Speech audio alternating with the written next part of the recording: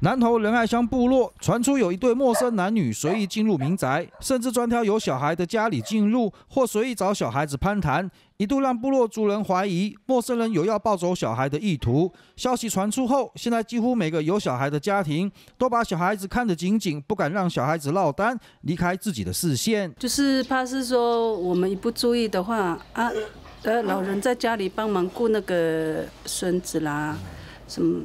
啊，呃，就是爸爸妈妈出去工作，被就是很危险呐，就是会说孩子随时都会被抱走这样子。年轻女孩子进去到房，呃，屋子里面，就问他说你要干嘛？他说我听到小孩子声音，啊，我来继续看那个小孩子。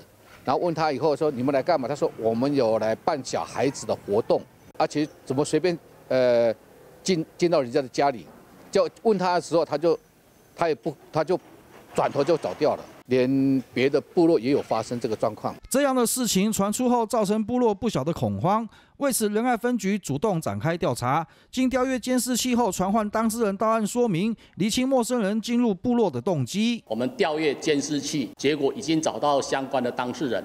经到案说明之后，我们了解是他们在推销儿童文书。然后第二个进入民宅部分，目前这个案子我们目前正在积极侦查。那如果有陌生人或者可疑的人进入部落，请实时提高警觉，并尽速向警方来报案，由警方来处理。目前虽然并未有族人因此而受害，只是虚惊一场，但仁爱分局还是呼吁民众注意可疑陌生人，并报案由警察来处理。原是新闻 No 南投仁爱采访报道。